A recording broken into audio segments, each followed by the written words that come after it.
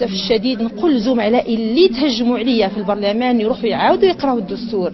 نزيد نذكرهم بمادة مهمة جدا وهي المادة 212 المادة 212 واش تقول؟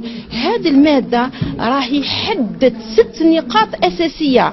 هي لا تتغير في الدستور مهما عدل الدستور وذكرت اللغة العربية والإسلام ولم تذكر الأمازيغية. اقرأوا الصفحة يا زملائي اللي عندكم النسخة هذه عطاوها في البرلمان.